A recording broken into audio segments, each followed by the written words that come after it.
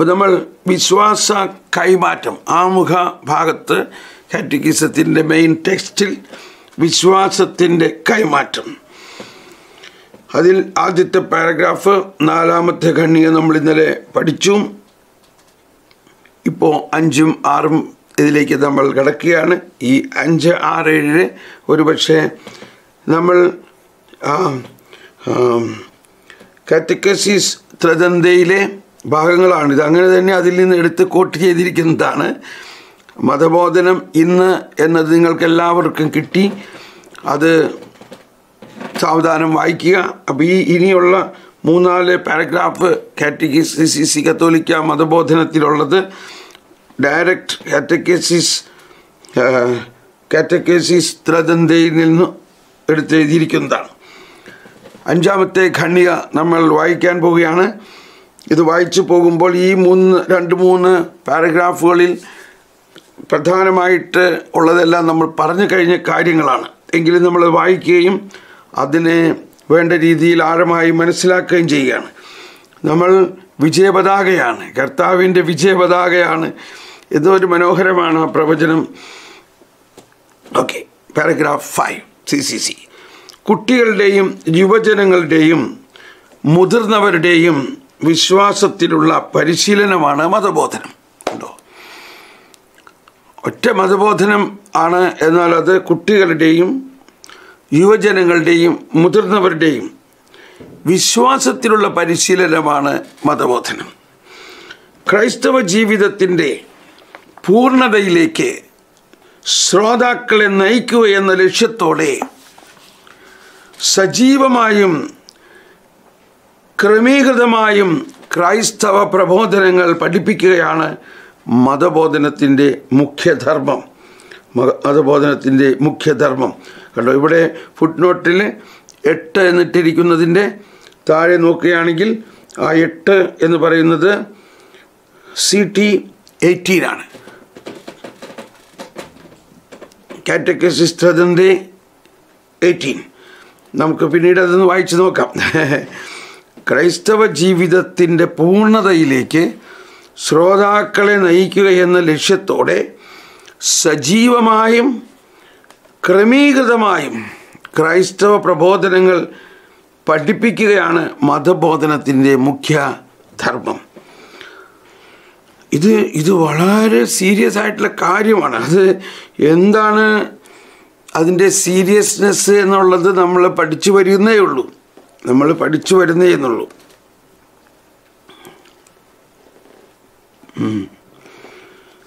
സഭയുടെ അജപാലന ദൗത്യത്തിന്റെ മതബോധന സ്വഭാവമുള്ള ചില ഘടകങ്ങളിൽ മേലാണ് മതബോധനം പടുത്തുയർത്തപ്പെട്ടിരിക്കുന്നത്. അജപാലന ദൗത്യം എന്നത് സാധാരണഗതിയിൽ നമ്മൾ ചിന്തിക്കുമ്പോൾ സഭയുടെ മെത്രാന്മാരാണ് അജപാലകൻ എന്നുള്ളതാണ് എന്നാൽ ആ മെത്രാന്മാരുടെ സഹശുശ്രൂഷകരായ വൈദികരും അതിനോടൊപ്പം ഓരോ ഇടവകകളിലും ഉള്ള പ്രധാന അധ്യാപകരും മാതാപിതാക്കളും എല്ലാം ഈ അജപാലന ദൗത്യത്തിന്റെ സഹ ശുശ്രൂഷകരാണെന്ന് നമ്മൾക്ക് ഒരു അവബോധമുണ്ടാകണം. പക്ഷേ ഈ ഘടകങ്ങൾ തന്നെയാണ്. പക്ഷേ ഈ ഘടകങ്ങൾ തന്നെയാണ് മതബോധനം എന്ന് ഇതുകൊണ്ട് അർത്ഥമാക്കുന്നില്ല. ആ അതാണ്.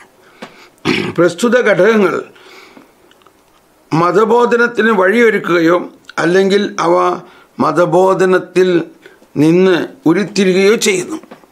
അപ്പം ഈ അജപാലന ദൗത്യത്തിന്റെ ഭാഗമായിട്ട് ഉള്ള മതബോധനത്തിൽ നിന്നാണ് ഇത് പുറപ്പെടുന്നതെങ്കിലും അത് മാത്രമല്ല മതബോധനം. വേറെ ഒരുപാട് കാര്യങ്ങൾ ഇതിൽ അടങ്ങിയിരിക്കുന്നുണ്ട്. അവ താഴെ പറയുന്നവയാണ്. സുവിശേഷത്തിന്റെ പ്രാരംഭ പ്രഘോഷണം. സുവിശേഷത്തിന്റെ പ്രാരംഭ പ്രഘോഷണം അല്ലെങ്കിൽ വിശ്വാസോത്തേജനത്തിനുള്ള പ്രേക്ഷിത പ്രഘോഷണം വിശ്വാസത്തിന് ആധാരമായ വസ്തുതകളുടെ പരിശോധന ക്രിസ്തീയ ജീവിതത്തിന്റെ അനുഭവം കൂതാശകളുടെ ആഘോഷം സഭാ സമൂഹത്തിലേക്കുള്ള ഉദ്ഘാടനം അപ്പസ്തോലികവും പ്രേക്ഷിതപരവുമായ സാക്ഷ്യം. ഈ ഖണ്ഡിക മുഴുവനും എടുത്തിരിക്കുന്നത് ഈ സി ടി എയ്റ്റീനിൽ നിന്നാണ്. C T eighteen. അതായത് ആ അതായത് മതബോധനം ഇന്ന് എന്ന പ്രബോധനത്തിൽ നിന്നാണ്. അപ്പോൾ അതിൽ ആ ഭാഗത്തിന്റെ പ്രധാന ഭാഗം ഞാനൊന്ന് വായിക്കാൻ ആഗ്രഹിക്കുകയാണ് ഇവിടെ. അതിൽ മൂന്നാമത്തെ ഖണ്ഡിക മൂന്നാമത്തെ ഖണ്ഡിക. പ്രായോഗിക രംഗത്ത് ഇന്ന് കാണുന്ന അനിശ്ചിതത്വങ്ങൾ കണക്കിലെടുത്തുകൊണ്ട് മതബോധനത്തെക്കുറിച്ച് തികച്ചും ശരിയായൊരു ധാരണയ്ക്ക് ആവശ്യകമായ സഭയുടെ പ്രമാണ രേഖകളിൽ ആഴമായി സ്ഥാനം പിടിച്ചിട്ടുള്ള അല്ലോ ഇത് ആവശ്യമായതാണെങ്കിലും അത് സഭയുടെ പ്രമാണ രേഖകളിൽ ആഴമായി സ്ഥാനം പിടിച്ചിട്ടുള്ള കാര്യങ്ങളാണ്. നമ്മൾ നോക്കുമ്പോൾ ഇതൊക്കെ എന്തിനാണ്? പക്ഷേ സഭയുടെ പൗരാണികമായതും പ്രമാണരേഖകളും ആ പ്രമാണരേഖകൾ എന്നത് സഭയ്ക്കുണ്ട് എന്നതും അതിന്റെ പ്രസക്തിയുമെല്ലാം ഇപ്പോൾ നമ്മുടെ ഈ ഗ്രൂപ്പിലുള്ളവർക്കെല്ലാം അത് മനസ്സിലാവുന്നവരാണ്. ഈ ഗ്രൂപ്പിനെ ഞാൻ ഈ പേര് ചൊല്ലി വിളിക്കുമ്പോൾ മിക്കവാറും എല്ലാവരെയും എനിക്കറിയാം. അവരുടെ ബയോഗ്രഫിക്കലായിട്ടും അവരുടെ പ്രവർത്തന മണ്ഡലങ്ങളും എല്ലാം അറിയാം. അതുകൊണ്ട് ഞാൻ നിങ്ങളെ വളരെ ബഹുമാനത്തോടെ സ്വാഗതം ചെയ്യുന്നത് അതുകൊണ്ടാണ്. കാരണം ഈ സുവിശേഷത്തിന് വേണ്ടി ജീവിതം തന്നെ മാറ്റിവെച്ചിരിക്കുന്നവരാണ് അധികം പേരും. അപ്പോൾ നിങ്ങൾക്ക് ഇതെല്ലാം കുറേയൊക്കെ അറിയാവുന്നവരാണ്. പക്ഷേ എന്നാൽ ഇത് മറ്റൊരുപാട് പേര് അതിന്റെ അറിവിലേക്ക് കൂടിയാണ് ഇത് പറയുന്നത്. അതുകൊണ്ട് നമുക്ക് കുറേ പേർക്ക് ഇതെല്ലാം അറിയാം. എന്നാൽ കുറേ പേർക്ക് ഈ അറിവിലേക്ക് നമ്മൾ അവരെ ആനയിക്കേണ്ടിയിരിക്കുന്നു. അതാണ് ഒരു ലക്ഷ്യം. അപ്പോൾ ഇവിടെ പറയുന്നൊരു കാര്യം സഭയുടെ പ്രമാണ രേഖകളിൽ ആഴമായി സ്ഥാനം പിടിച്ചിട്ടുള്ളവയാണ്. മുഖ്യ ഘടകങ്ങളെക്കുറിച്ച് മാത്രം ഇവിടെ പരാമർശിക്കാം. അവയെ അവഗണിച്ചാൽ മതബോധനത്തിന്റെ പൂർണമായ അർത്ഥവും വിവക്ഷയും ഗ്രഹിക്കുന്നതിൽ നാം പരാജയപ്പെടും. ദാറ്റ്സ് എ ഗുഡ് പോയിന്റ് വാസ്തവത്തിൽ ഒന്നും അവഗണിക്കാനില്ല. എന്തെങ്കിലും അവഗണിച്ചാൽ മതബോധനത്തിന്റെ പൂർണമായ അർത്ഥവും വിവ വിവക്ഷയും ഗ്രഹിക്കുന്നതിൽ നാം പരാജയപ്പെടും. അകക്കൂടി നോക്കുമ്പോൾ ആകെക്കൂടി നോക്കുമ്പോൾ മതബോധനത്തെ ഇവിടെ കുട്ടികൾക്കും യുവജനങ്ങൾക്കും മുതിർന്നവർക്കും നൽകപ്പെടുന്ന വിശ്വാസ പരിശീലനമായി പരിഗണിക്കാവുന്നതാണ്. വിശ്വാസികൾ സ്വീകരിച്ചിട്ടുള്ള ക്രൈസ്തവ സത്യങ്ങളുടെ പഠനമാണ് പ്രധാനമായും ഈ പരിശീലനം ഉൾക്കൊള്ളുന്നത്. ഈ വാക്ക് അടിവരയിടേണ്ടതാണ്. വിശ്വാസികൾ സ്വീകരിച്ചിട്ടുള്ള ക്രൈസ്തവ സത്യങ്ങൾ ക്രൈസ്തവ സത്യങ്ങൾ എന്ന് പറഞ്ഞാൽ ഡോഗ്മാറ്റിക് ഡോഗ്മാസ് ഓഫ് ഫെയ്ത്ത്. അത് ഈ കാറ്റഗിസം പോലെ തന്നെയുള്ള വലിയൊരു പുസ്തകമാണ് കത്തോലിക്ക സഭയുടെ വിശ്വാസ സത്യങ്ങൾ. Dogmas of Catholic church. അപ്പോൾ അത് ആരംഭം മുതലേ പല കാര്യങ്ങളെയും കാലഘട്ടങ്ങളിൽ ഒരു വിശ്വാസ സത്യമായിട്ട് പ്രഖ്യാപിച്ചിരിക്കുകയാണ്. അപ്പോൾ വിശ്വാസ സത്യങ്ങൾ എന്ന് പറഞ്ഞാൽ ഉദാഹരണത്തിന് പരിശുദ്ധ മറിയത്തിന്റെ അമലോത്ഭവം. അത് നമ്മൾ ബൈബിളിൽ പ്രത്യേകിച്ച് നോക്കുമ്പോൾ കൃത്യമായിട്ടൊന്നും പരാമർശിച്ചിട്ടുണ്ടാവണമായിട്ട് തോന്നുന്നില്ല. എന്നാൽ ആ സുവിശേഷത്തിൽ തന്നെയുള്ള സുവിശേഷത്തിലെ ഓരോ വചനത്തെയും അല്ല പ്രധാനം അതിനപ്പുറത്ത് അതിന്റെ ഒരു ടോട്ടാലിറ്റി അതിന്റെ ഒരു സംഗ്രഹത്തെ ഉൾക്കൊണ്ടുകൊണ്ടും പരിശുദ്ധാത്മാവിന്റെ വെളിപ്പെടുത്തലിലൂടെയും സഭയുടെ വിശുദ്ധമായ പാരമ്പര്യം സഭയുടെ വിശുദ്ധമായ പാരമ്പര്യമാണ് പലർക്കും ഉൾക്കൊള്ളാനോ മനസ്സിലാക്കാനോ സാധിക്കാത്തത്. പ്രത്യേകിച്ച് യുവതലമുറയ്ക്ക്. യുവതലമുറയും പ്രത്യേകിച്ച് ഒരു പ്രൊട്ടസ്റ്റാന്റിക് ആയിട്ട് ബന്ധപ്പെട്ടിരിക്കുന്ന ആളുകളെല്ലാം നോക്കുമ്പോൾ ബൈബിളിൽ എഴുതിയിട്ടില്ല. ബൈബിളിൽ എഴുതിയിട്ടില്ല. അത് ബൈബിളിൽ എഴുതിയിട്ടില്ല. ഇങ്ങനെ അവർ പറയുന്നത്. അത് പറയുമ്പോൾ തന്നെ നമുക്ക് മനസ്സിലാകണം. ഒന്നില്ലെങ്കിൽ അവർ ഏതെങ്കിലും ഒരു പ്രൊട്ടസ്റ്റന്റ് ഗ്രൂപ്പുമായിട്ടുള്ള ഒരു പഠനത്തിലോ കൈമാറ്റത്തിലോ ആണ്. അല്ലെങ്കിൽ അവർ ആ സുവിശേഷത്തിലെ വചനത്തെ അക്ഷരാർത്ഥത്തിൽ മാത്രം മനസ്സിലാക്കുന്നവരാണ്. അപ്പോൾ അതിനപ്പുറത്ത് സഭയിൽ ഒരു വിശുദ്ധ പാരമ്പര്യമുണ്ട് എന്നത് ഇവിടെ നമ്മൾ ഈ കത്തോലിക്ക സഭയുടെ മതബോധനത്തിൽ പിന്നീട് നമ്മൾ വളരെയധികം പഠിക്കുന്ന ഒരു കാര്യമാണ്. അത് നമ്മുടെ ഈ ഗ്രൂപ്പിൽ തന്നെയുള്ള വിശ്വാസത്തിൽ വളർന്ന ആളുകൾക്ക് യാതൊരു സംശയമില്ലാത്ത കാര്യമാണ്. പക്ഷെ അത് നമ്മളുടെ വിശ്വാസത്തിൽ വളരാനുള്ളവരിലേക്ക് എങ്ങനെ ഇത് അവതരിപ്പിക്കുമെന്നുള്ളതാണ്. അപ്പോൾ ഈ വിശ്വാസ സത്യങ്ങൾ അത് തന്നെ വലിയ ഒരു വിഷയമാണ് പഠിക്കേണ്ടത്. അപ്പം അങ്ങനെ ഓരോ കാര്യത്തിനും ഒരു ഡോഗ്മ ഫെയ്ത്ത്.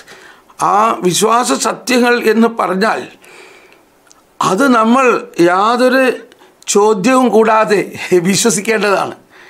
ഞാനൊരു കത്തോലിക്ക സഭയിലെ അംഗമായിരിക്കുന്നത് കൊണ്ട് എനിക്ക് അവശ്യം വിശ്വസിക്കേണ്ട ചില സത്യങ്ങളാണത്. അതിനെ ഞാൻ ചോദ്യം ചെയ്യേണ്ട ആവശ്യമില്ല. കാരണം അതിനെക്കുറിച്ച് യുക്തിപരമായും ആത്മീയമായിട്ടും വളരെ വലിയ പിതാക്കന്മാരും ശ്രേഷ്ഠന്മാരും അത്രാന്മാരും മാർപ്പാപ്പമാരും എല്ലാം പഠിച്ച് പഠിച്ച് അവർ അതിനെ ഡിക്ലെയർ ചെയ്തിരിക്കുകയാണ്. ദിസ് ഈസ് എ ഡോഗ്മ അപ്പോൾ പിന്നെ നമ്മൾ മനസ്സിലാക്കട്ടെ ഇനി നമ്മളതിനെക്കുറിച്ച് ചിന്തിച്ച് വാട്സപ്പ് ഗ്രൂപ്പിൽ ഡിസ്കസ് ചെയ്യുക വിമർശിക്കുക അതെന്തോ ഒരു എന്തോ ഒരു എന്തോ ഒരു ബാലിശമാണത് അപ്പോൾ വിശ്വാസ സത്യങ്ങളെക്കുറിച്ച് നമ്മൾ വേറെ ഡിസ്കസ് ചെയ്യേണ്ട ആവശ്യമില്ല. അത് മനസ്സിലാവുന്നില്ലെങ്കിൽ അത് മനസ്സിലാക്കാൻ വേണ്ടി നമ്മൾ പ്രാർത്ഥിച്ചാൽ മതി. ദൈവമേ പരിശുദ്ധാത്മാവേ ഈ വിശ്വാസ സത്യങ്ങളെ ഞങ്ങൾക്ക് മനസ്സിലാക്കി തരണമേ.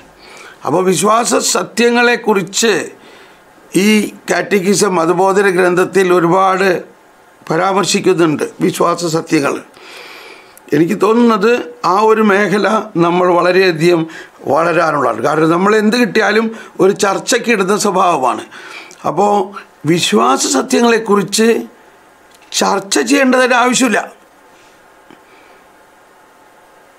ചർച്ച ചെയ്യുമ്പോൾ മനസ് ചർച്ച ചെയ്ത് ആവശ്യമില്ല എന്ന് പറഞ്ഞത് അതിനെക്കുറിച്ച് നമ്മളെക്കാൾ വളരെ ശ്രേഷ്ഠരായ വിശുദ്ധരും പിതാക്കന്മാരും ചർച്ച ചെയ്ത് അതിനെ സീൽ കുത്തിയിരിക്കുന്ന കാര്യങ്ങളാണ്. ഇത് ഒരു വിശ്വാസിയെ സംബന്ധിച്ച് അവനത് വിശ്വസിച്ച് വിശ്വസിക്കണം അവനത് വിശ്വസിക്കണം.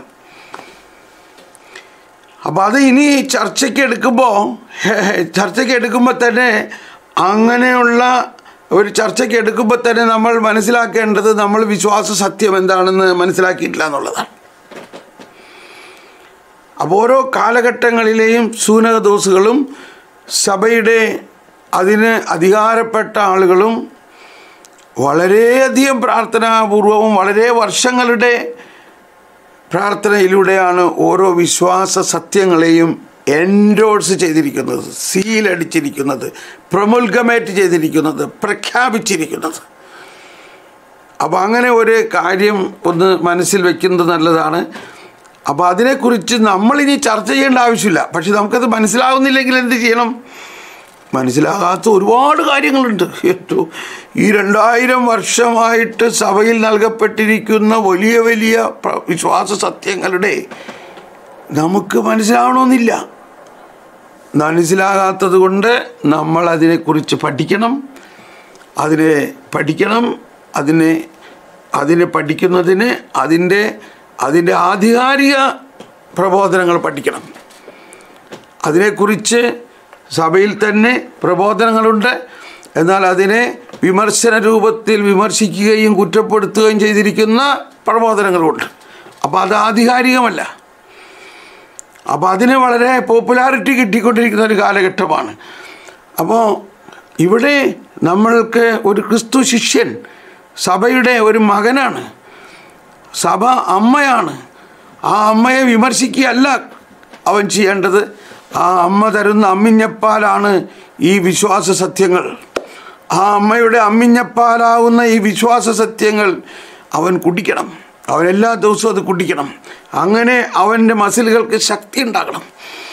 അവന്റെ ആത്മീയ മസിലുകൾ ഉണ്ടാകണം. അവൻ ആത്മീയമായ ഒരു കൊടിമരമായിട്ട് മാറണം. അല്ലാതെ അതിനെയെല്ലാം ചർച്ച ചെയ്ത് അതിനെ നമ്മൾ നിരൂ നിരൂപണാർത്ഥത്തിൽ യുക്തിയിലൂടെ ചിന്തിക്കുന്നത് വിശ്വാസ സത്യങ്ങളെ കൈകാര്യം ചെയ്യുന്ന ഒന്നല്ല. ശ്രമിക്കണം. അപ്പോൾ അതാണ് വിശ്വാസികൾ സ്വീകരിച്ചിട്ടുള്ള ക്രൈസ്തവ സത്യങ്ങളുടെ പഠനമാണ്. പ്രധാനമായും ഈ പരിശീലനം ഉൾക്കൊള്ളുന്നത്. കണ്ടോ? ഈ പരിശീലനം ഉൾക്കൊള്ളുന്നതിന്റെ പ്രധാന കാര്യം എന്താണ്? ക്രൈസ്തവ സത്യങ്ങളുടെ പഠനം. ക്രൈസ്തവ സത്യങ്ങളുടെ പഠനം. സി ടി പതിനെട്ടിലെ സി ടി പതിനെട്ട്. പൊതുവെ പറഞ്ഞാൽ ഈ പഠനം ജീവത്തായതും ക്രമാനുഗതമായിരിക്കണം ജീവത്തായതും അതായത് ഇത് സജീവമാണ് ഇതിന്റെ അകത്ത് ക്രിസ്തീയ ജീവനുണ്ട് പരിശുദ്ധാത്മ ശക്തിയുണ്ട്. അതുകൊണ്ട് തന്നെ പരിശുദ്ധാത്മ നിവേശിതമായ ഒരു ബഹുമാനത്തോടും ഒരു ആദരവോടും കൂടി നമ്മൾ അതിനെ പഠിക്കാൻ ഒരുങ്ങണം. ക്രൈസ്തവ ജീവിതത്തിന്റെ പൂർണതയിലേക്ക് ശ്രോതാക്കളെ പ്രവേശിപ്പിക്കുകയാണ് അതിന്റെ ഉദ്ദേശം. അപ്പോൾ നമ്മളുടെ ജീവിതം ഒരു ബയോഗ്രാഫി എന്ന് പറഞ്ഞ മാതിരിയാണ് ഒരു ബയോളജിക്കൽ ഗ്രോത്ത് ആണ് അതുകൊണ്ടാണ് പൗലോസ് ആവുന്ന ഒന്ന് കുറേന്ത്യോസ് പതിമൂന്നാം അധ്യായത്തിൽ പത്താമത്തെ വചനത്തിൽ പറയുന്നുണ്ട് ക്ഷമിക്കണം.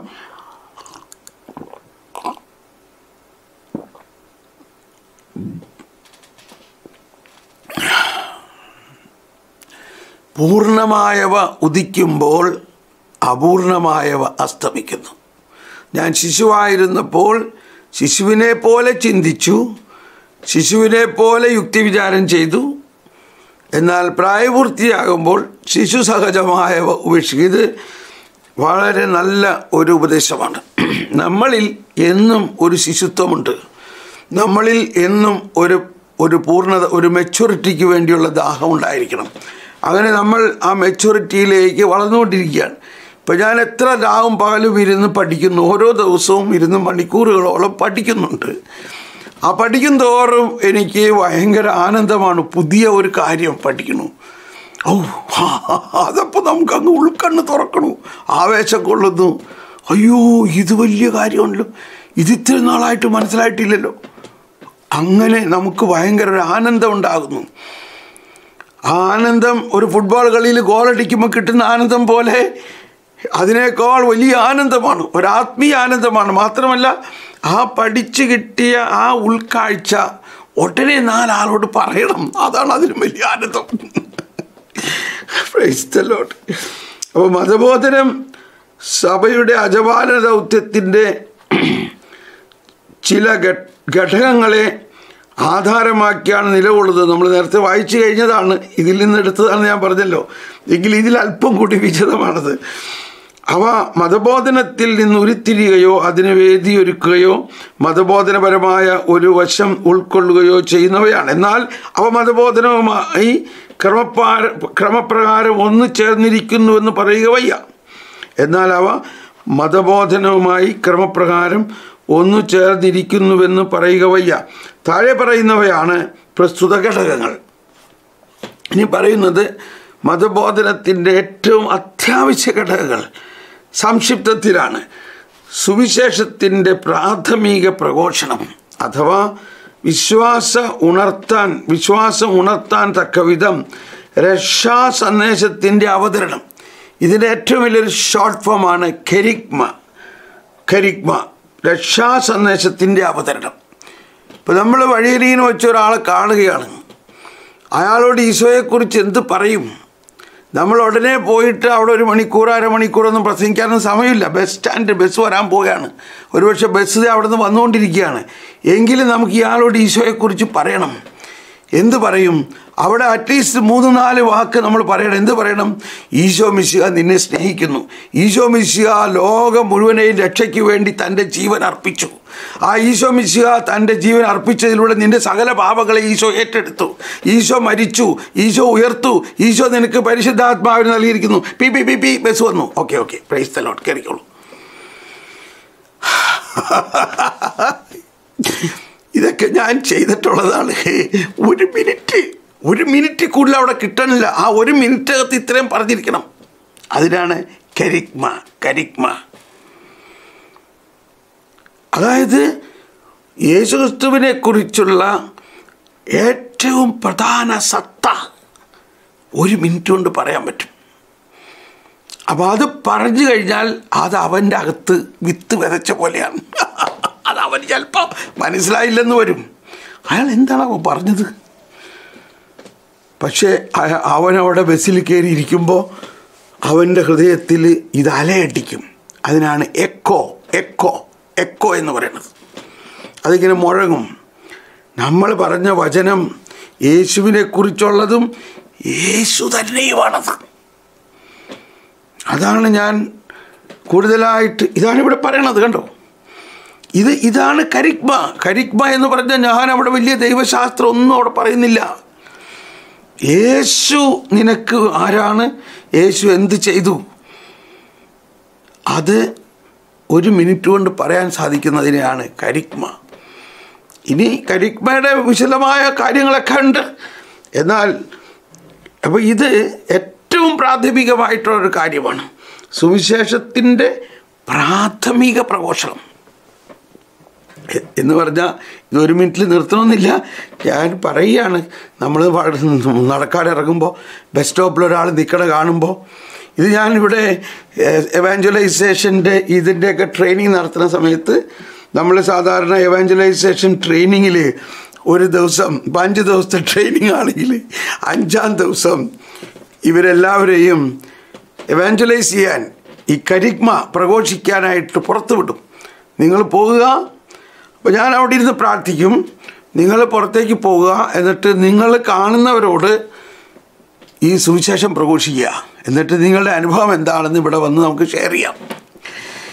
ആദ്യം നോക്കുമ്പോൾ ഇത് ഭയങ്കര വിറയലാണ്. ദൈവമേ ഇതെങ്ങനെ ഒരു പരിചയമില്ലാത്ത ആൾക്കാരോട് ചെന്ന് പറയണത്? പക്ഷെ എല്ലാവരും വളരെ വിജയശ്രീലാളിതരായിട്ട് ഏതുപോലെ ഇതുപോലെ ഇവിടെ വിജയശ്രീ ലാളിത എന്ന് പറയുന്നതിന്റെ ഒരു സൂചന ഇവിടെ ഉണ്ടല്ലോ. വിജയ പതാക എന്ന് പറഞ്ഞില്ലേ? വിജയ പതാക അതാണ്.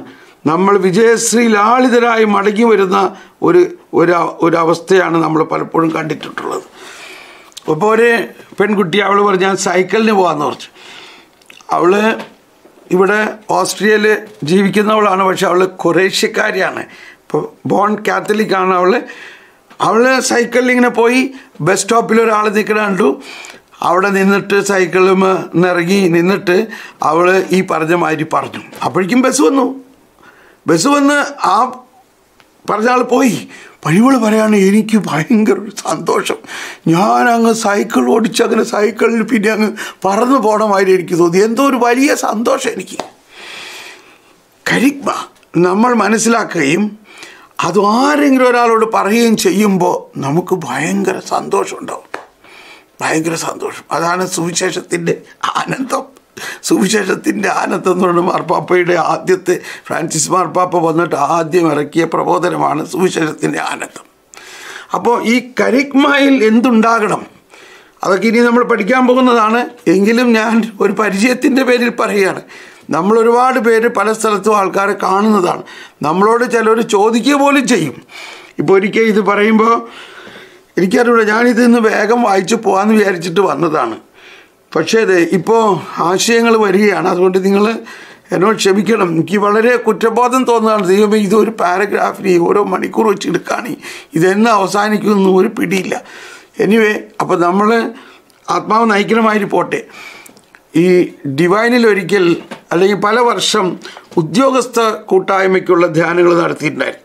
അത് പല പ്രാവശ്യവും എന്നെ തന്നെയാണ് അതിനുവേണ്ടി വിളിച്ചത്. ഉദ്യോഗസ്ഥ കൂട്ടായ്മ. അപ്പോൾ അതിൽ എഞ്ചിനീയേഴ്സ് ഉണ്ട് അഡ്വക്കേറ്റ്സ് ഉണ്ട് ഡോക്ടേഴ്സ് ഉണ്ട് ടീച്ചേഴ്സ് ഉണ്ട് ഇവരെല്ലാവരും ഉണ്ട്. അപ്പോൾ അതിൽ ഒരു സിസ്റ്റർ വന്നിട്ട് പറയാണ് എനിക്ക് ആരോടും ഈ യേശുവിനെ കുറിച്ച് പറയാനേ തോന്നുന്നില്ല. ഞാൻ എന്ത് ചെയ്യണം? എന്താണ് എന്റെ പ്രശ്നം? എന്താണ് എന്റെ പ്രശ്നം? അപ്പോൾ നമ്മളൊരു കരിസ്മാറ്റിക് സെറ്റപ്പായതിന്റെ പേരിൽ എന്റെ അടുത്ത് വരുമ്പോൾ ഞാൻ പ്രാർത്ഥിക്കും. വളരെ സ്നേഹത്തോടെ പ്രാർത്ഥിച്ചു. അവരുടെ വളരെ വലിയൊരു വേദനയാണ്. ഒരു കന്യാസ്ത്രീക്ക് യേശുവിനെ കുറിച്ച് പറയാൻ പറ്റുന്നില്ല എന്ന്. എന്ത് ചെയ്തിട്ടും അവർക്ക് പറ്റണില്ല. ആ സിസ്റ്റർ പറയാണ് ചില പെൺകുട്ടികൾ പത്താം ക്ലാസ്സിൽ പഠിക്കുന്ന കുട്ടി വന്നിട്ട് സിസ്റ്ററിനോട് ചോദിക്കുകയാണ് സിസ്റ്റർ എന്തിനാണ് ഈ ജീവിതം മുഴുവനും ഈശോ മിസിഹായ്ക്ക് കൊടുത്തത്? ഓ അതിപ്പോൾ നീ ഒന്നും അറിയണ്ട എന്ന് പറയും. ഒരിക്കൽ ഒരു പെൺകുട്ടി വന്നിട്ട് ഈ കഴുത്തിൽ തൂങ്ങിക്കിടക്കുന്ന ഒരു കുരിശാണ് അവരുടെ ഒരു കുരിശാണ്. ഈശോ ഉള്ള ക്രൂശിത രൂപമാണ് വെറും കുരിശല്ല ക്രൂശിത രൂപം. ഇതെടുത്തിട്ട് ഇതാരാണിത്? അപ്പോഴും സിസ്റ്റർ പറഞ്ഞു അതിപ്പോൾ നീ അറിയണ്ട. ഇപ്പൊ ഈ ധ്യാനത്തിന്റെ പശ്ചാത്തലം വന്നപ്പോൾ സിസ്റ്ററിന് ഭയങ്കര ഒരു പ്രയാസം. ഇതെന്താണ് ബ്രദറെ എനിക്ക് പറയാൻ പറ്റാത്തത്. ഓക്കെ വിഷമിക്കേണ്ട. ഏതായാലും ഈ ധ്യാനത്തിന് കർത്താവാണ് കൊണ്ടുവന്നത്. അതുകൊണ്ടാണ് ഇങ്ങനെയുള്ള ധ്യാനങ്ങളെല്ലാം വെച്ചിരിക്കുന്നത്. നമുക്കൊന്ന് പരിശോധിക്കാം. അപ്പം ഇവിടെയാണ് കരിസ്മാറ്റിക് ഈ വരദാനങ്ങളൊക്കെ ഉപയോഗിക്കുന്നു. അപ്പോൾ നമ്മൾ പ്രാർത്ഥിക്കുകയാണ്. പരിശുദ്ധാത്മാവേ എന്താണ് ഈ സിസ്റ്ററിന്റെ ജീവിതം തന്നെ ഈശോന് വേണ്ടി നൽകിയിട്ട ഈശോയെക്കുറിച്ച് പറയാൻ പറ്റുന്നില്ലല്ലോ അവർ സ്കൂളിൽ പഠിപ്പിക്കുന്നു. അപ്പോൾ ഞാനിങ്ങനെ ഒരു ദർശനത്തിൽ കാണുകയാണ്. ഒരു കൊച്ചുകുട്ടി പാവാടെ ബ്ലൗസൊക്കെ ഇട്ട ഒരു കുട്ടി. അപ്പോൾ അതെനിക്ക് മനസ്സിലായി ഈ സിസ്റ്ററിന്റെ കുഞ്ഞ് നാളിലൊരു സംഭവമാണ്. ഒരു പണ്ടത്തെ നമ്മുടെ നാട്ടിൻപുറത്തെ നാട്ടിൻപുറത്ത് സ്കൂളിലേക്ക് പോകുന്നു. ചോറ്റും പാത്രവും പുസ്തകമൊക്കെ പിടിച്ചുകൊണ്ട് പോകുന്നു. അങ്ങനെ പോകുന്ന വഴിയിൽ ശ്രീനാരായണ ഗുരുവിന്റെ ഒരു സ്റ്റാച്ചു കാണുന്നു. അത് നോക്കുന്നു പോകുന്നു.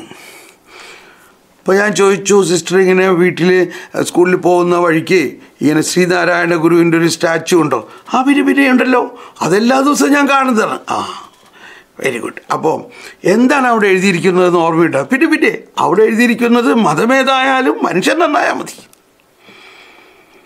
ഉണ്ടോ അപ്പോൾ സിസ്റ്റർ ആ സ്കൂളിൽ എത്ര നാൾ പഠിച്ച്? ഞാൻ കുഞ്ഞുനാൾ മുതൽ പത്താം ക്ലാസ് വരെ ആ സ്കൂളിലാണ് പഠിച്ചത്. അപ്പോൾ കേട്ടോ അപ്പോൾ ഈ ഒന്നാം ക്ലാസ് മുതൽ പത്താം ക്ലാസ് വരെയുള്ള പത്ത് വർഷം എല്ലാ ദിവസവും ഈ പോകുന്ന വഴിയിൽ ഈ ഒരു വാക്കുകൾ അവരുടെ മനസ്സിൽ പതിഞ്ഞു. അതുകൊണ്ടാണ് പിന്നീടൊക്കെ നമ്മുടെ സ്കൂളിന്റെയൊക്കെ പുറത്ത് വചനം എഴുതി വെക്കലൊക്കെ തുടങ്ങിയത്. വചനമൊക്കെ എഴുതി വെക്കൽ നവീകരണം വന്നപ്പോഴാണ് നമ്മുടെ കത്തോലിക്ക സ്കൂളിന്റെ മതിലുമെല്ലാം വചനം എഴുതി വയ്ക്കുന്നു മതിലും എഴുതി വെച്ചാൽ നല്ല കാര്യം അറ്റ്ലീസ്റ്റ് അതെങ്കിലും. അപ്പം ഞാൻ പറയാണ് അപ്പോൾ ഞാൻ പറഞ്ഞു സിസ്റ്ററിന്റെ ഹൃദയത്തിൽ ഈ വാക്കുകൾ അങ്ങ് പതിഞ്ഞിരിക്കുന്നു. അതിൽ പത അത് നല്ല ഒരു ആശയമാണെന്ന് തോന്നുന്നു ഒരു ഫിലോസഫിക്കലായിട്ട് നല്ലൊരു ആശയമാണ്. എന്നാൽ സുവിശേഷത്തിന്റെ സുവിശേഷത്തിന്റെ സുവിശേഷ സത്യം അല്ലെങ്കിൽ ക്രൈസ്തവ സത്യം ഡോഗ്മാറ്റിക് ആയിട്ട് അല്ലെങ്കിൽ സുവിശേഷത്തിന്റെ ഡോഗ്മ അനുസരിച്ച് നോക്കുമ്പോൾ അത് തെറ്റാണ്. നമ്മുടെ വിശ്വാസം അനുസരിച്ച് മതമേതായാലും മനുഷ്യൻ നന്നായാലും രക്ഷ യേശു ക്രിസ്തുവിലൂടെ മാത്രമാണ്. ആ അങ്ങനെ ഉണ്ടല്ലേ മനുഷ്യൻ നന്നായാൽ പോരെ? നന്നായാൽ പോരാ. മനുഷ്യൻ എന്താ നന്നാകുക ആരാ അവനെ നന്നാക്കേണ്ടത്? അവന് തന്നെത്താൻ നന്നാകാൻ പറ്റുമോ അവൻ നന്നായാൽ മാത്രം പോരാ. അവൻ യേശു ക്രിസ്തുവിലൂടെ അവന്റെ ആത്മാവിലേക്ക് നിത്യജീവൻ ഉണ്ടാകണം. അവൻ പുനർ പുനർജീവിക്കപ്പെടണം. അങ്ങനെ ഒരുപാട് കാര്യങ്ങളുണ്ട്. അവൻ യേശുവിനെ യേശുവാണ് അവന് വേണ്ടി രക്തം ചിന്തി അവനെ നന്നാക്കാൻ വേണ്ടി അവനിലുള്ള പാപം ഏറ്റെടുക്കാൻ വേണ്ടി അവനെ നന്നാക്കാൻ വേണ്ടി യേശു ചെയ്ത കാര്യങ്ങൾ അവൻ അറിയണം. അപ്പോൾ നമുക്കൊന്ന് പ്രാർത്ഥിക്കാം. ഏ?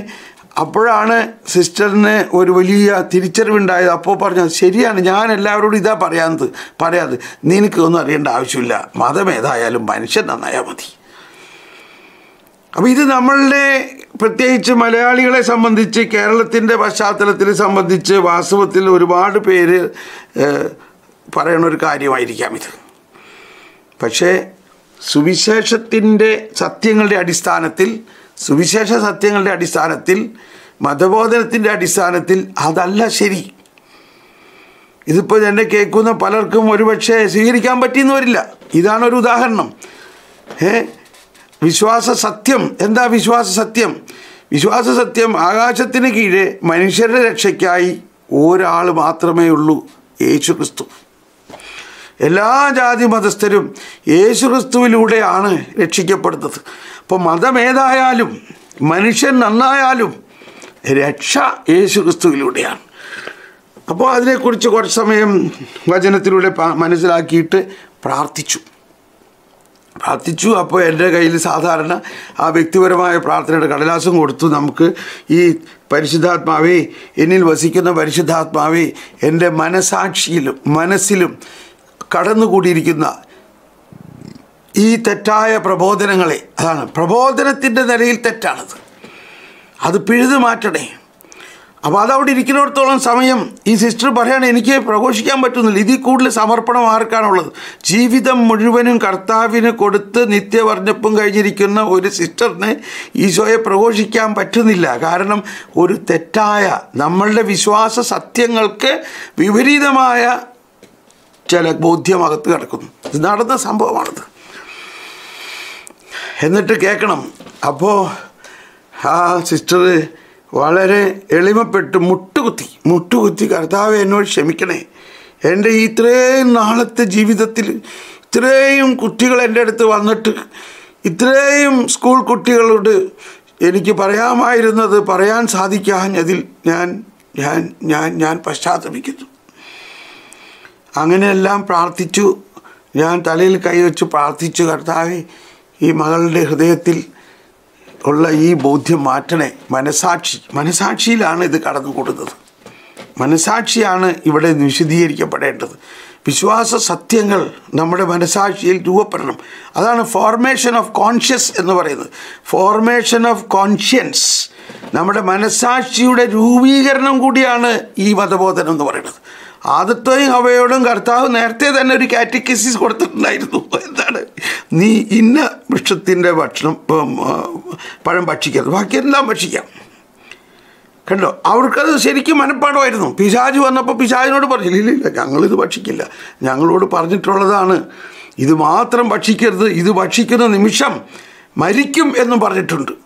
മരിക്കും എന്ന് പറഞ്ഞ് പറഞ്ഞ് വായ അടച്ചില്ല. അതിനു പിശാജ് കയറി പറഞ്ഞു മരിക്കില്ല. നീ മരിക്കില്ല. നീ ദൈവത്തെ പോലെ ആവും. അപ്പം അപ്പോൾ എന്ത് പറ്റി? ഈ മനസാക്ഷിയിൽ ദൈവം എഴുതിയിരിക്കുന്നതിന്റെ പുറത്ത് ഒരു സൂപ്പർ ഇമ്പോസ് ചെയ്തുകൊണ്ട് പിശാജും എഴുതി. ഇവർ പറഞ്ഞു അത് ഭക്ഷിക്കുന്ന നിമിഷം മരിക്കും. എന്ന് പറഞ്ഞതിന്റെ പുറബി മുകളിൽ ലോകത്തിന്റെ ബോധ്യം വിശ്വാസ സത്യത്തിന് എതിരായ ഒരു ബോധ്യം അവിടെ വന്നു. അതിനെ അതിനെ അതിനെ മുടി. അത് കഴിഞ്ഞപ്പോൾ ഹവായിക്ക് തോന്നിയാണ്. ഓ ഞാൻ ദൈവത്തെ പോലെ ആവോ? ഓ ഗുഡ് ഐഡിയ ആ അപ്പം നോക്കുമ്പോൾ എന്നിട്ട് എഴുതിയിരിക്കുന്ന അപ്പം നോക്കിയപ്പോൾ ആ ഫലം ആ പഴം കണ്ണിന് ആസ്വാദ്യകരം ഭക്ഷിക്കാൻ ആസ്വാദ്യകരമാണെന്ന് തോന്നി. അവളത് പറിച്ചു ഭക്ഷിച്ചു കേട്ടോ. മനസാക്ഷിയിൽ എഴുതപ്പെട്ടിരിക്കുന്ന വിശ്വാസ സത്യത്തിനെ കളങ്കപ്പെടുത്തുന്ന ഒരു ബോധ്യം അവിടെ വന്നതാണ് ഈ പ്രശ്നം. അവിടെയാണ് ഇതിന്റെ തുടക്കം. അതാണ് വിശ്വാസ സത്യത്തെ മുറുക്കെ പിടിക്കണമെന്ന് പറയുന്നത്. അതുകൊണ്ടാണ് പൗലോസ്ലിയ തിമോത്തിയോസിന് എഴുതി ഒന്ന് തിമോത്തി ഒന്ന് പതിനെട്ട്. അതാണ് എന്തോ ഒരു വാത്സല്യത്തോടെയുള്ള എഴുത്താണെന്ന് അറിയാമോ എന്റെ മകനായ തിമോത്തിയോസെ. കണ്ടോ? അതൊരു പിതൃ എന്ത് പിതൃ ആ പിതൃത്വത്തിന്റെ വാത്സല്യം നോക്കൂ. അതാണ് ആത്മീയ പിതൃത്വം എന്ന് പറയുന്നത്. ദൈവം നമ്മൾ ഓരോരുത്തരുടെയും പ്രബോധനത്തിന്റെ രീതിയിലൂടെ ഇങ്ങനെ സംസാരിക്കുന്നത്. പതിനെട്ട്. ഒന്ന് തിമോത്തിയോസ് ഒന്ന് പതിനെട്ട്. എന്റെ മകനായ തിമോത്തിയോസേ നിന്നെക്കുറിച്ച് നേരത്തെ ഉണ്ടായിട്ടുള്ള പ്രവചനങ്ങൾക്ക് അനുസൃതം വിശ്വാസത്തോടും നല്ല മനസ്സാക്ഷിയോടും കൂടെ നന്നായി പോരാടുന്നതിനുള്ള ചുമതല നിന്നെ ഞാൻ ഫലമേൽപ്പിക്കുന്നു. ചില ആളുകൾ കണ്ടോ. മനസാക്ഷിയെ തിരസ്കരിച്ചുകൊണ്ട് വിശ്വാസം തീർത്തും നശിപ്പിച്ചു. കണ്ടോ? വിശ്വാസത്തോട് അപ്പോൾ വിശ്വാസ സത്യങ്ങളെ മനസാക്ഷിയിൽ ക്രോഡീകരിക്കണം. അല്ലെങ്കിൽ ചില ആളുകൾ വിശ്വാസം തീർ മനസാക്ഷി തിരസ്കരിച്ചുകൊണ്ട് വിശ്വാസം തീർത്തും നശിപ്പിച്ചു കളയുന്നു. ഹ്യൂമിനിയോസും അലക്സാണ്ടറും അക്കൂട്ടത്തിൽപ്പെടുന്നു കൃത്യമായിട്ട് ആളുകളുടെ പേര് വരെ പറഞ്ഞിരിക്കുകയാണ്. ഇപ്പം നമ്മൾ ചിലപ്പോൾ പ്രസംഗത്തിൽ ഇങ്ങനെ കണ്ടാലും നമ്മൾ പേര് പറയില്ല. പക്ഷെ ഇവിടെ പേര് പറഞ്ഞ് എഴുതിയിരിക്കുക ഇന്നിന്ന ആളുകൾ കണ്ടോ? അവർ ദൈവദൂഷണത്തിൽ നിന്ന് പിന്മാറേണ്ടതിന് ഞാൻ അവരെ സാത്താന് വിട്ടുകൊടുത്തിരിക്കുകയാണ്. കേട്ടോ? ഒന്ന് ആലോചിച്ച് നോക്കിയേ. എന്തോ ഒരു ഭയാനകമായ അവസ്ഥയാണ്. വിശ്വാസികളായിരുന്നു. എന്നാൽ ആ വിശ്വാസത്തിന്റെ ആ മനസാക്ഷി തീർത്തും നശിപ്പിച്ചു. വിശ്വാസത്തെ മനസാക്ഷിയെ തിരസ്കരിച്ചുകൊണ്ട്. അപ്പോൾ നമ്മുടെ മനസാക്ഷിയിലാണ് ദൈവം എഴുതുന്നത്. ഓക്കെ ഇനി കന്യാസ്ത്രീയിലേക്ക് തിരിച്ചു വരാം. അപ്പോൾ അന്ന് ഉച്ച കഴിയുമ്പോൾ ഞാൻ ധ്യാനത്തിന്റെ സമയത്ത് ഉച്ച കഴിഞ്ഞിട്ട് ഇത്തിരി ഉറക്കമൊക്കെ വരുന്ന സമയമാണല്ലോ. അപ്പോൾ എന്താണ്? എല്ലാവരും വിദ്യാസമ്പന്നരായ പാർട്ടിസിപ്പൻസ് ആണ്. എന്താണ് നിങ്ങൾക്ക് കിട്ടിയ നിങ്ങൾക്ക് കിട്ടിയ ഉൾക്കാഴ്ചകൾ ഈ ധ്യാനത്തിൽ നിന്നുള്ളത്? ഒന്ന് പങ്കുവയ്ക്കാൻ കയറി വരാൻ പറഞ്ഞു. അപ്പോൾ ആദ്യം ചാടിക്കേറി വന്നിരിക്കുന്നത് ഈ സിസ്റ്ററാണ്.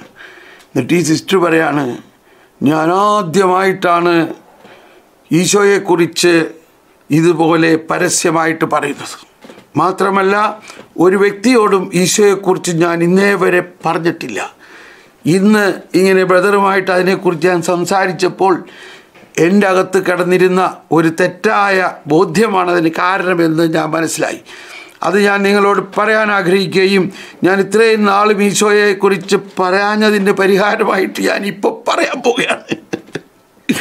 എന്നിട്ട് അവർ പറഞ്ഞു ഞാനിങ്ങനെ കുഞ്ഞുനാൾ ഈ ദർശനം കണ്ടതും കുഞ്ഞുനാൾ മുതൽ ഞാൻ ഈ ഒരു വചനം എന്റെ ഹൃദയത്തിൽ അല്ലെങ്കിൽ ഈ വാക്ക് എന്റെ ഹൃദയത്തിൽ പതിക്കപ്പെട്ടു. മതമേതായാലും മനുഷ്യൻ നന്നായാൽ മതി. അതെന്റെ ഉള്ളിൽ അങ്ങ് പതിഞ്ഞു.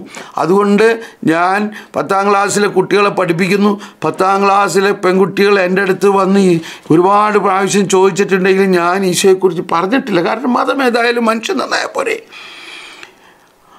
പക്ഷേ ഇപ്പോഴെനിക്ക് മനസ്സിലായി അതല്ല. മതമേതായാലും മനുഷ്യൻ നന്നായാലും രക്ഷ യേശുക്രിസ്തുവിലൂടെയാണെന്നും ആ യേശുക്രിസ്തുവിന് വേണ്ടി എന്റെ ജീവൻ കൊടുത്തതാണ് ഞാൻ. എന്റെ പ്രഥമമായ ദൗത്യം.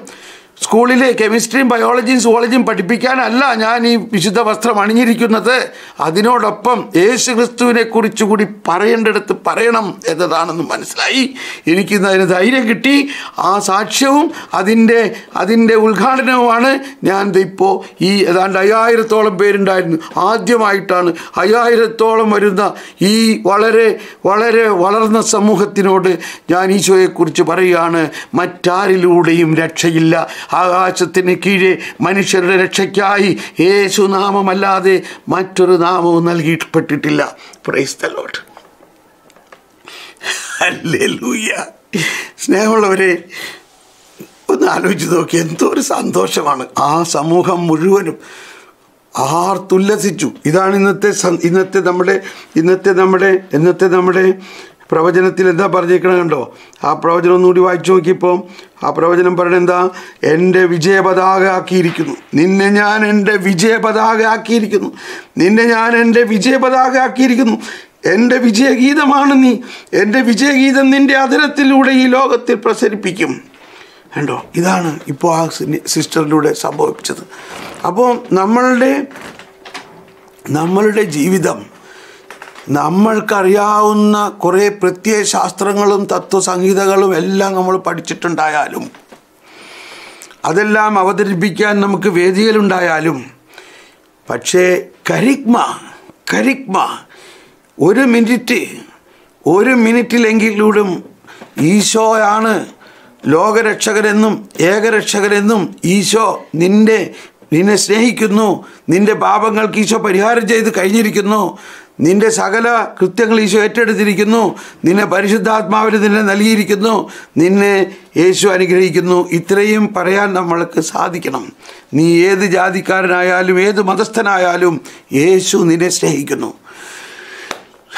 അല്ലേ ലൂയ അപ്പോൾ അതാണ് കരിക്മ എന്ന് പറയണത്. അപ്പോൾ ഈ കരിക്മ നമ്മൾ മനസ്സിലാക്കിയാൽ നമ്മൾ അതിന് നമ്മൾ തന്നെ എഴുതി ഉണ്ടാക്കിക്കോ വേണമെങ്കിൽ നമുക്ക് ഒരു മിനിറ്റ് കൊണ്ട് പറയാവുന്ന ഒരു കരിക്മ രണ്ട് മിനിറ്റ് കൊണ്ട് പറയാവുന്ന കരിക്മ കുറച്ചും കൂടി ചേർന്നൊരു മൂന്ന് മിനിറ്റ് കൊണ്ട് പറയാവുന്ന കരിക്മ എവിടെ വേണമെങ്കിലും പറയാൻ സാധിക്കണം നമുക്ക്. ആ സമയത്തിന്റെ ഇതനുസരിച്ച്. ഇപ്പോൾ ഞാൻ ഒരു മിനിറ്റ് കൊണ്ട് പറഞ്ഞത് ഇതുപോലെയുള്ള ബസ്സിലോ യാത്ര ചെയ്യുമ്പോഴെല്ലാം പറയേണ്ട കാര്യങ്ങളാണ്. മറിച്ച് നമുക്ക് സഹപാഠികളുമായിട്ട് സംസാരിക്കാൻ സമയം കിട്ടിയെങ്കിൽ നമുക്കതിൽ കൂടുതൽ പറയാൻ സാധിക്കണം. ഇനി കാറ്റഗിസം ക്ലാസ്സിലാണെങ്കിൽ ഒരു മിനിറ്റല്ല പത്ത് മിനിറ്റ് നമുക്ക് എടുക്കാൻ സാധിക്കണം. അപ്പോൾ കാറ്റഗിസത്തിന്റെ പ്രധാന ഘടകങ്ങളിൽ ഏറ്റവും പ്രഥമമായിട്ടുള്ള ഒന്ന് സുവിശേഷത്തിന്റെ പ്രാഥമിക പ്രഘോഷണം. പ്രാഥമിക പ്രഘോഷണം. ആ പ്രാഥമിക പ്രഘോഷത്തിൽ തന്നെ അവർ യേശുവുമായിട്ട് പ്രേമത്തിലാകണം. അപ്പോൾ നമ്മൾ കാറ്റഗിസം പഠിപ്പിക്കുമ്പോഴും നമ്മുടെ കയ്യിൽ കിട്ടിയിരിക്കുന്ന കൊച്ചുങ്ങൾ ഒരിക്കൽ ഒരു പ്രസംഗം കേട്ടത് ഇങ്ങനെയാണ്. അച്ഛൻ പറയാണ് ഒരു തിയോളജിയനെ ഒരു ബിഷപ്പ് പറഞ്ഞു ഇന്ന് ഒന്നാം ക്ലാസ്സിലെ കുട്ടികൾക്ക് കാറ്റഗീസ് കൊടുക്കാൻ പറഞ്ഞു. അപ്പോൾ ഈ തിയോളജിയൻ വലിയ ദൈവശാസ്ത്രജ്ഞനായ അദ്ദേഹത്തിനോട് ഒന്നാം ക്ലാസ്സിലെ കുട്ടികൾക്ക് കാറ്റഗിസം പഠിപ്പിക്കാൻ പറഞ്ഞപ്പോൾ ആകെ പ്രയാസമായി. എന്ത് പഠിപ്പിക്കും ഇപ്പോൾ എന്ത് പറയും?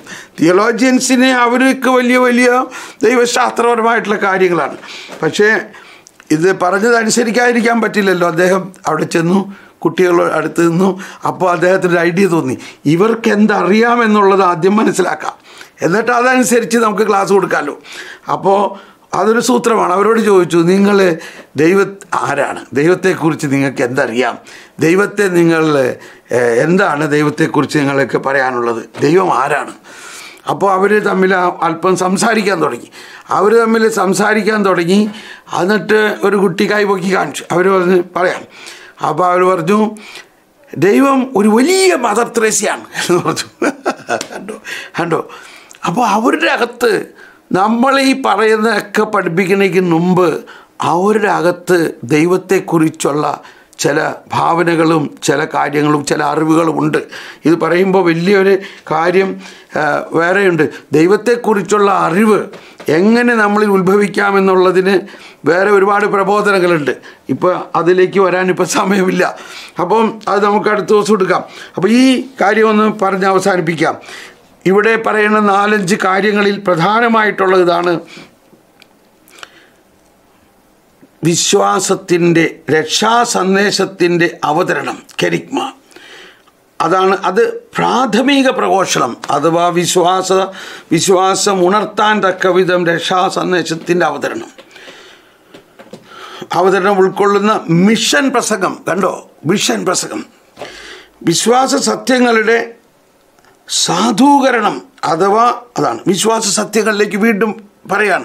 വിശ്വാസ സത്യങ്ങളുടെ സാധൂകരണം. അത് നമ്മൾ പഠിക്കണം. പഠന വിഷയമാക്കണം. അത് നമ്മുടെ ഹൃദയത്തിൽ ആഴമായി പതിയണം. അഥവാ വിശ്വാസത്തിന് അടിസ്ഥാനമായ കാരണങ്ങളെപ്പറ്റിയുള്ള പഠനം. ഇനി ക്രിസ്തീയ ജീവിതാനുഭവം. അതാണ് ക്രിസ്തീയ ജീവിതത്തിന്റെ അനുഭവം. എന്താണ് ക്രിസ്തീയ ജീവിതം? അതൊരു അനുഭവത്തിന്റെ രൂപത്തിലൂടെ നമ്മൾ അവതരിപ്പിക്കേണ്ടതുണ്ട് നമ്മുടെ ജീവിതത്തിന്റെ അനുഭവത്തിൽ നിന്ന്. പിന്നെ കൂതാശകളുടെ പരികർമ്മം സഭാ സമൂഹവുമായിട്ടുള്ള ഉൾച്ചേരൽ. ചിലർ പറയും ഞാൻ ക്രിസ്തുവിൽ വിശ്വസിക്കുന്നുണ്ട് പക്ഷേ ഞാൻ പള്ളിയിൽ പോകേണ്ട ആവശ്യമില്ല. ഞാൻ കാറ്റഗിസൊന്നും പോ ഞാൻ തന്നെ താൻ കർത്താവുമായിട്ട് പോയിക്കോളാം. അതല്ല സഭ അതല്ല ക്രിസ്തു തന്നെ നമ്മളെ പഠിപ്പിക്കുന്നത്. ക്രിസ്തു ഒരു ഒരു ഇൻഡിവിജ്വലിസ്റ്റിക് ആയിട്ടുള്ള ഒരു മതമല്ല ഒരു ഇൻഡിവിജ്വ ഇൻഡിവിജ്വലിസ്റ്റിക് ആ വാക്കാണ്. മിക്കവാറും മിക്കവാറും ഈ റാഷണലിസ്റ്റും അതുപോലെ തന്നെ അതുപോലെ തന്നെ എന്താണ് നിരീശ്വരവാദികളും പറയുന്നത് വിശ്വാസികളെന്നൊന്നും പറയില്ല. അവർ individualist I am an individual I know what I want I do what I want I don't care I don't care what God is doing I have my own capacity ഇങ്ങനെ അവർ പറയും. ഇൻഡിവിജ്വലിസ്റ്റിക് അപ്പോൾ ആ individualistic അല്ല. ദൈവം നമ്മളെ സൃഷ്ടിച്ചിരിക്കുന്നത് ഒരു ഇൻഡിവിജ്വലിസ്റ്റിക്കായി ജീവിക്കാനല്ല അതിന്റെ അടിസ്ഥാനപരമായ തത്വം നമ്മൾക്കുണ്ടാകണം. നമ്മൾ ഒരു സമൂഹത്തിൽ ആ ഈ സമൂഹത്തെ സ്നേഹിച്ച് ആ സമൂഹത്തിൽ കുറവുള്ളവരും വളർന്നവരും കുറ്റമുള്ളവരും കുറവുള്ളവരും സഭ തന്നെ വിശ്വാസികൾ എന്ന് പറഞ്ഞാൽ വിശുദ്ധരുടെയും അശുദ്ധരുടെയും വിശുദ്ധരുടെയും പാപികളുടെയും സമൂഹമാണ് സഭ. എന്ന് പറയുന്നത്. വിശുദ്ധരുടെയും പാപികളുടെയും സമൂഹം. അപ്പോൾ അവരെ ഹൃദയ സ്നേഹത്തോടെ സ്വീകരിക്കാൻ ഒരമ്മയെപ്പോലെ ഒരമ്മയ്ക്ക് പത്ത് മക്കളുണ്ടെങ്കിൽ അതിനകത്ത് ഒരാൾ വളരെ നല്ല വിശുദ്ധനായിരിക്കും. ഒരാൾ മദ്യപിക്കുകയും കള്ളുടിക്കുകയും പല ദുഷ്കാര്യങ്ങൾ ചെയ്യുന്നവരായിരിക്കാം. പക്ഷെ അവനെയും അമ്മ സ്നേഹിക്കുന്നു. അമ്മ അവനെ സ്നേഹിക്കുന്നു. അമ്മ അവന് വേണ്ടി കാത്തിരിക്കുന്നു. അമ്മ ബാക്കിയുള്ളവർക്കെല്ലാം ഭക്ഷണം കൊടുത്തിട്ട് അമ്മ പോലും ഭക്ഷണം കഴിക്കാതെ അവർ കൂടി വന്നിട്ടേ കഴിക്കുകയുള്ളൂ. അതുപോലെ അമ്മ സ്നേഹിക്കുന്നു. അതാണ് സഭ. സഭ ഒരമ്മയാണ്. സഭ ഒരമ്മയാണ്. അതാണ് സഭാ സമൂഹവുമായുള്ള ഉൾച്ചേരൽ. പിന്നെ അപ്പസ്തോലികവും പ്രേഷിത പ്രവർത്തനപരമായ സാക്ഷ്യം. ഓ പ്രൈസ് ദ ലോഡ് ഇപ്പോൾ നമ്മൾ സാംശീകരിക്കുകയാണെങ്കിൽ ഒമ്പത് ആറാമത്തെ ഖണ്ണിക വരെ നമ്മൾ വന്നുള്ളൂ ആറാമത്തെ ഖണ്ണിക അഞ്ചും ആറും ഖണ്ണിക നമ്മൾ എടുത്തു. അഞ്ചും ആറും ഖണ്ണിക എടുത്തു. ഇനി ബാക്കി നമ്മൾ അടുത്ത ദിവസം പഠിക്കാം. നമുക്കിപ്പോൾ നന്ദി പറയാം. കർത്താവ് ഇന്നത്തെ ഈ പഠനത്തിൽ നമ്മൾ പ്രധാനമായിട്ടും ഉരുത്തിരിഞ്ഞ് വന്ന ഒരു കാര്യം വിശ്വാസ സത്യങ്ങൾ. വിശ്വാസ സത്യങ്ങൾ. ഡോഗ്മ. അതിനെക്കുറിച്ച് നമ്മൾ ഒറ്റവാക്കിൽ പറയാൻ പറ്റില്ല. അത് നിങ്ങൾ വേണമെങ്കിൽ ഗൂഗിളൊക്കെ ചെയ്ത് നോക്കിക്കോളും. ദർ ഈസ് എ ബുക്ക് അമേരിക്കയിലുള്ളവർക്ക് ആ പുസ്തകം മേടിക്കാവുന്നതാണ് ഡോഗ്മാസ് ഓഫ് കാത്തലിക് ചർച്ച് എന്ന് പറഞ്ഞത്. അതൊക്കെ മേടിച്ച് വീട്ടിൽ വെക്കണം നല്ലതാണ്. അതൊന്നും ഒന്നിച്ചൊന്നും വായിക്കാനൊന്നും പോണില്ല. പക്ഷേ നമ്മുടെ വീട്ടിൽ ഫ്രണ്ട് റൂമിൽ തന്നെ ഒരു ചെറിയ ലൈബ്രറി ഉണ്ടായിരിക്കണം. അതിൽ രണ്ട് മൂന്ന് ഭാഷയിലുള്ള ബൈബിൾ രണ്ട് മൂന്ന് ഭാഷയിലുള്ള കാറ്റഗീസം പുസ്തകം മാർപ്പാപ്പയുടെ പ്രബോധനങ്ങളുടെ പുസ്തകം സകല വിശുദ്ധന്മാർ പ്രധാനപ്പെട്ട വിശുദ്ധന്മാർ അഗസ്തീനോസിന്റെ my confession city of God ഇങ്ങനെയുള്ള പുസ്തകങ്ങൾ അതിന്റെ കൂട്ടത്തിൽ ഇങ്ങനെയുള്ള അപ്പോൾ ഇങ്ങനത്തെ ഒരു പത്ത് പുസ്തകം അവിടെ ഉണ്ടാകണം. അപ്പോൾ ഈ നമ്മളില്ലാത്ത നേരത്ത് പിള്ളേരെ ഇടയ്ക്കൊന്ന് തുറന്ന് നോക്കാൻ ചാൻസ് ഉണ്ട്. ഒരു ചാൻസ് ഒന്ന് തുറന്ന് നോക്കിയാൽ മതി. നമ്മൾ നമ്മുടെ മുമ്പിൽ അവന്മാരൊന്നും ചെയ്യില്ല. നമ്മളില്ലാത്ത നേരത്ത് ഇവരാരെങ്കിലും അപ്പോൾ അല്ലെങ്കിൽ നമ്മളുടെ വീട്ടിലൊരു അതിഥി വന്നു ഒരു ഗസ്റ്റ് വന്നു. അവരെ ഒന്ന് നോക്കി അവർ സംസാരിക്കണതിന്റെ ഇടയിൽ അതെന്താണ്? അപ്പോൾ സിറ്റി ഓഫ് ഗോഡ് അത് ഏത് സിറ്റിയാണ് അവിടെ നമുക്ക് വല്ല സ്ഥലം കിട്ടുമെന്ന് നോക്കിയാലോ? അങ്ങനെ വൈ ചാൻസ് വഴി തെറ്റിയിട്ട് ആ സിറ്റി ഓഫ് ഗോഡ് എടുത്ത് വായിച്ചു. അല്ലെങ്കിൽ ഇരുണ്ട രാത്രി എടുത്ത് വായിച്ചു. അപ്പോൾ നോക്കുമ്പോഴാ ഇത് ഇത് സംഭവം വലിയ കാര്യമാണല്ലോ. ആ അപ്പോൾ അതിനകത്ത് രണ്ട് വരിയെ വായിച്ചുള്ളൂ എന്ന് വിചാരിച്ചോ? അത് മതി. അതിനകത്ത് ഭയങ്കര സ്പർശനം ഉണ്ടാകും വിശ്വാസ സത്യങ്ങളിലേക്ക് ആകർഷണം ഉണ്ടാകും ഇതൊക്കെ പ്രാക്ടിക്കലായിട്ടൊരു കാര്യമാണിത്. എനിക്ക് വളരെ അനുഭവമായിട്ടുള്ള കാര്യമാണ്. ഞാൻ തന്നെ അനുഭവിച്ചിട്ടുള്ളതാണ്. ഞാൻ എവിടെ ചെല്ലുമ്പോഴും അത് ചെയ്യാറുള്ളതുമാണ്. അവിടെ എനിക്ക് അവിടുത്തെ വേറെ ഒരു കാര്യത്തിലും ഒരു അട്രാക്ഷൻ തോന്നാറില്ല. അവിടെ ഇരിക്കുന്ന പുസ്തക ഷെൽഫിൽ നിന്ന് നോക്കിയിട്ട് എനിക്ക് ആ കണ്ണോടിക്കുമ്പോൾ ഒരു പുസ്തകം ആ ജോൺ ഓഫ് ദ ക്രോസ് അതെടുത്തു. ആ ജോൺ ഓഫ് ദ ക്രോസിന്റെ പുസ്തകം എടുത്തു. ഒരിക്കൽ ഒരു സെമിനാരിൽ ചെന്നപ്പോൾ ഞാൻ ആദ്യം ചെന്നത് അവരുടെ ലൈബ്രറിയിലേക്കാണ് ജോൺ ഓഫ് ദ ക്രോസിന്റെ ആ പുസ്തകം എടുത്തു. ആ കർമ്മല മലകയറ്റം അത് തുറന്നു. അപ്പോൾ അതിലെഴുതിയിരിക്കുകയാണ് ഈ വചനത്തോടെ നമുക്ക് ഈ ക്ലാസ് ഇപ്പോൾ അവസാനിപ്പിക്കാം. അതിലെഴുതിയിരിക്കുകയാണ് when you are on your way abandon that way and go to another way where there is no way that is the way so ഞാൻ തോട്ടിനെ കുറിച്ചെടുത്തു when you are on your way that is your own way abandon that way go to another way where there is no way that is the way നീ നിന്റെ വഴിയിലൂടെ പോയിക്കൊണ്ടിരിക്കുമ്പോൾ അത് വിടുക. മറ്റൊരു വഴിയിലേക്ക് പോകുക. ഒരു വഴിയില്ലാത്ത വഴിയിലേക്ക് പോകുക. അതാണ് നിന്റെ വഴി. അങ്ങനെ അതാണ് എന്റെ വഴി. അങ്ങനെയുള്ള വഴിയിലേക്ക് എന്നെ കർത്താവ് കൊണ്ടുവന്നു. ഐ ആം സോ ഹാപ്പി അപ്പോൾ നമ്മൾ ഇതെല്ലാം ഞാൻ ചില പ്രാക്ടിക്കലായിട്ടുള്ള കാര്യങ്ങൾ പറയുന്നത് നിങ്ങളുടെ കുടുംബത്തിന്റെ ആ കാര്യങ്ങളൊക്കെ മനസ്സിലായിക്കൊണ്ട് ആ കുടുംബത്തിൽ നിങ്ങൾക്ക് ചെയ്യാൻ പറ്റുന്ന കാര്യങ്ങളാണ് ഇതെല്ലാം. നമുക്കിവിടെ നിർത്താം. നമുക്ക് കർത്താവിന് നന്ദി പറയാം. ദൈവമേ നന്ദി പരിശുദ്ധാത്മാവേ നന്ദി. എല്ലാവർക്കും പ്രത്യേകിച്ച് നന്ദി പറയുന്നു. ഇതിലൂടെ നമ്മൾ പടുത്തുയർത്തണം. നമ്മൾ വിശ്വാസ സത്യങ്ങളുടെ അടിത്തറയിൽ പണിതുയർത്തപ്പെടുന്ന ഒരു കൊടിമരമായിരിക്കണം നമ്മൾ. നമ്മൾ ഓരോരുത്തരും ഒരു കൊടിമരമായിരിക്കണം. എന്നാൽ അത് പണിതുയർത്തേണ്ടത് വിശ്വാസ സത്യങ്ങളുടെ അടിത്തറയിൽ നമുക്ക് പണിതുയർത്തണം. നമുക്ക് നന്ദി പറയാം. കർത്താവേ നന്ദി. പ്രൈസ് ദ ലോഡ് നമ്മളുടെ തന്നെ ഇംഗ്ലീഷ് സെക്ഷനിലേക്ക് നീങ്ങിയാണ് God bless you God bless you